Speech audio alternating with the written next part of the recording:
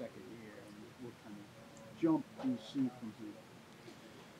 Uh, he's he's he's done a good job. Uh, continue to get better with the details of the position. You know, uh, obviously we know how athletic he is and uh, his his physical ability. So I think just like anything else, as he continues to progress and learn, um, that he's understanding more of how the position operates in everything that he does. You know, in terms of you know route running, blocking, just understanding how things fit, understanding the schemes and, and how he fits into the big picture. Uh, he's improved in that way. When a guy like that sees a veteran ahead of him leave, like like Hooper did, I think he automatically knows, like, uh, hey, this is more my room now, more my spot. Well, you know, he still. We all come here to prove ourselves every day and and work to to earn the right to be here. So that's the mentality that we we all want as a whole coaching staff and in our room. And then if he if he kind of morphs into that role because of what he's done, uh, his body of work, then then that'll be a natural occurrence. What you what have you been able to learn about Wesco during this offseason? Uh, Wesco's obviously he's he's he's a vet. Uh, he's got um, some the ability to play multiple positions. Uh, obviously, we know he's uh, he does a good job at the end as an inline blocker, uh, and in and in uh, protections, he's very detailed in meetings. Uh, he he does everything like a pro, like like you'd expect. What are some of the ways you've been able to challenge teams as you guys work together? Again, just continue to hone in on his craft and and and understanding the assignments and the details of what he's supposed to uh, be doing and how he can run routes and maybe different tempos or routes. What he's looking at, he's you know he's uh, continue to, to build on his knowledge of coverages and what the defense is trying to do. Uh, so again, as he continues to do that, he'll continue to get better uh, in the pass game. Why is it important to kind of maybe do your thing with your trainer down. Miami this this off season, and what did you kind of specifically try to work on? Yeah, um, I mean, it was big, you know, just to try new things. I mean, I feel like it's um, everybody has their own way of doing things, you know, and everything doesn't work for everybody. Uh, you know, I've been here, you know, the last two, three off seasons, and you know, I've had, you know, great, great time on the field, you know, being here. So I just wanted to try a different approach, you know, and see what it uh, gets me, you know, moving forward. You feel like it got you to where you want to be right now, at least? Yeah, nah, definitely, I feel great. How important is this upcoming season for you? Because it's the final year of your rookie contract. You need to show them that you can stay on the field for a full season. How, how important is it for you to have a good year this year? Um, I mean, it's important every year, you know, to have a great year. Um, I expect that of myself. So um, that was just my take on, you know, I wanted to do what I had to do, you know, to make sure I'm there for my team, you know, this upcoming year. Uh, I want to be out there. I will be out there 17 games. So um, that's the approach that I took. Kristian, how much was this offseason upload? Level,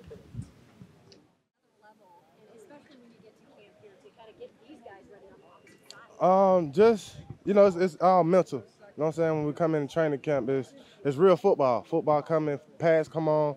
Um, the whole dynamic of football just situational football, just whatever, everything that involves football is here. Uh, come training camp, and we got to be ready for it. How much do you bring something different with your length, your frame, your your bend, um, and how much can you be an X factor with that kind of? Uh, I bring a lot because I can play all throughout, uh, all over the defensive line. Um, and that's a, that's a difference. You can rush me outside, you can rush me inside. We got injuries. I can move inside and not miss a beat. So that's what I am. How much do you kind of relish your ability to bend, and, and how much does that kind of make you different and, and difficult for Yeah. offensive linemen? No, I, I, I like the bend. I love the bend, but it, it all predicated off my power. I do a lot a lot of things off my power, so I can so that so the edge can open up for my bend. a question for him. Yeah. But in terms of as a coach, it's awesome to see him uh, be happy with where he's headed physically, but also uh, taking a step back and, and learning some other things and watching some film and kind of uh, of getting creative and excited to get back and try things out. So um, excited for his his progress. You've been, Arden been even more than you expected from a, maybe a personality, energy standpoint. No, Okay. I, I I said this when we were when we were first talking about uh, the potential of him being here. The number one thing that stuck out to me on film was his passion for himself and his teammates, and uh, so I knew that. I knew we had it in him. Um, I'm just glad it's here. He's like length and height give you something different. I, I know he's only an inch different than, than Weaver, but he seems like a different build. Yeah. Um, well, length and height that's important at that position, right? That's that's one of the things that uh, that we look for. I think if you're comparing those two, the, just the difference is the play style, right? And uh, you know, Arden moves more in a in a Gumby fashion. He's got some bend. He's got some some cool attributes there. So, and that's when you look all around the league, right? You got a lot of guys that are very similar builds, but what kind of style do they play with? And, and that's what sticks out about him. So, he gives you kind of a different element than, than you've had so far. He does. He, uh, you know, just the way he moves, and um, you know, he's somewhat of a vet, so he has some experience in doing it, and I think he's he's really um, honed in on who he is as a as a player and as a rusher, and you can see that um, throughout the spring. So excited about his future. Ryan, working with Lori, uh, what is it that she brings uh, in helping you uh, work with the backers? Yeah, well, she's she's awesome. She, I'm glad she's here. Um, one of the things is she's won a Super Bowl, and I told her that when I first met her. Is you know to be around someone that wins and have someone like that walk into the room with a Super Bowl ring, um, that's awesome. That's number one. And then number two, you know, she's been doing this for quite some time now, been around the game, so she's very knowledgeable, and uh, she does a great job building relationships with the players and feel really comfortable of her. She'll grab a player, and work with them, and then ultimately, at the end of the day, she's helping us to get better, which is what matters the most. Both built a great foundation and look forward to those guys really continue to work over the next four and five weeks and then coming back in when training camp's starting and that stuff will sort itself out. Charles, I, I know everybody thinks of uh, Mike and, and Tim is connected to DeAndre, but but you were certainly had a relationship with Andre too. I guess or DeAndre Hopkins, uh, you know, at Houston as well. Did you get a chance to talk to him during his, his visit at all, or you know, what kind of relationship uh, did you guys have? You know, I, yeah, I was there at the time in, in Houston, but you know, right now it's really just about the players that are here, and you know, I'll let Vrabes and I'll let Ran talk about you know the situation with Hop, but uh, you know, we did cross paths there in Houston. Yeah. I got you. And I guess it went decently, I guess. Anyway, right? sure. Yeah. Sure. I know first I worked with him, he's a more comfortable player. It seems like. What are some of the things you've seen him progress from the beginning when you first started working together?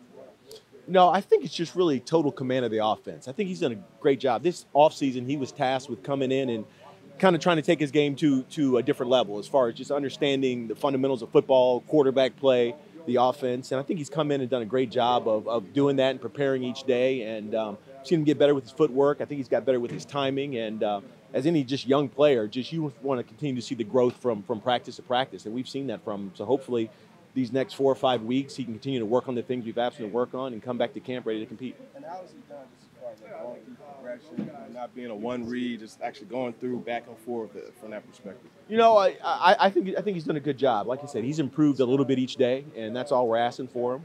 And uh, he's done a good job of accepting the challenge and learning the offense, and uh, we're excited about it. It's being a, after this practice, you know, what are some of the things that you'll charge him with going forward, you know, through the offseason until training camp? Yeah, sure. Just continue to build on the foundation that we've set these last few weeks. Like for both he and Will, they can't come back here at the end of July and we can't start from from scratch again. They've got to continue to continue to improve, continue to study, continue to master the offense. So when they get back here at the end of July, we can hit the ground running and continue to get better each day instead of having to go back and, and rehash some stuff.